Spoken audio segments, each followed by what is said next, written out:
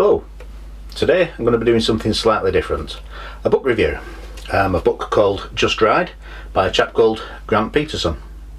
Um, yeah, reasonable sized book and it is not an autobiography.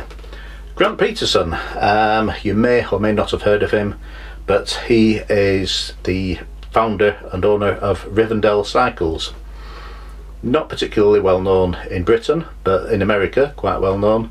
Um, high-end bicycles, but not following fashion trends. Very much steel frame, lugged frame, brazed, um, long wheelbase, long chain stays, designed to be all-purpose bikes.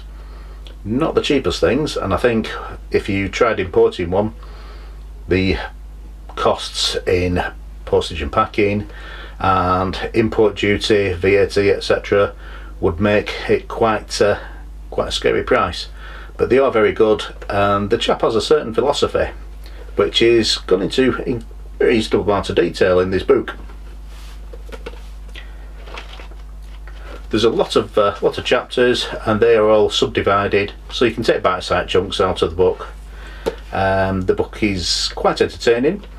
The guy has uh, definitely got his own opinions about cycling and one of the main ones is that racing cycles and speci specialist cycles so high-end racers and mountain bikes that are you know the extreme full suspension type are not really doing much favours for general purpose riders the manufacturers seem to copy these uh, you know trends in these in the high-end cycles the, the racing cycles specialist cycles and transfer them down trickle down to the average bike but it doesn't make the average bike better to ride.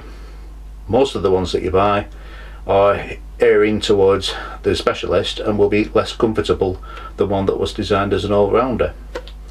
He's also got opinions on other things like helmets, um, cycling wear, and also sorts. You know, it's, it's quite an entertaining read. Now, you may disagree with him, you may agree with him on some or all of the points, but um, all he asks is that you consider um, the points that he raises. And yeah, I've, I found it quite uh, agreeable um, with my sort of thoughts on the subject. Yeah, it's a book I'd recommend. It's not the you know not a riveting read, uh, but it does read. It does flow quite well.